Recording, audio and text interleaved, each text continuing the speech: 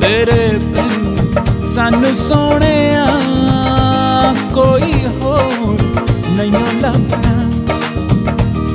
ਜੋ ਦੇਵੇ ਰੂਹ ਨੂੰ ਸਕੂਨ